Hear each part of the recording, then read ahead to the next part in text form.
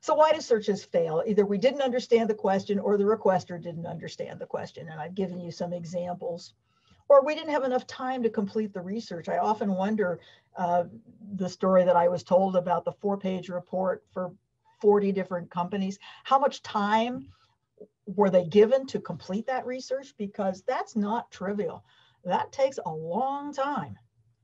And then there's a language barrier. And this is sort of a joke and it's sort of not a joke. If you do any sort of international research, you'll, you'll run into these things of words that sound like something. So this is a British story translated for speakers of American English. So uh, could you call me an elevator because I've got an apartment? Okay. In British English, an elevator is a lift. So could I get a lift? Because I've got an apartment. Well, in British English, that's a flat.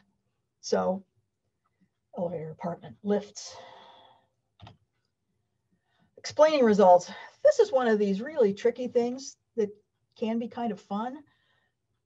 When you have no results, you really don't want to go back to the person and say, I failed, I didn't find anything, because maybe you didn't fail. Maybe the fact is there's some reason why there's no answer there and I have a, a, wonderful example. I don't know if I, I, can't tell if Fred is on the on the call or not here, but uh, this is from um, Fred King, who says, "My former director uh, once said, if you two can't find it, it's not there." And then he went on. He says, "I would never say that to someone for whom I was doing a search, for fear of them turning to the keyboard, clicking a few keys, and finding exactly what I didn't find." And that is, I suppose, a form of Murphy's law. But if there is a strange anomaly, maybe it tells you something. I'm not sure about the chemical in the fruit, but I'm still thinking about that one. Beware of acronyms that could mean different things.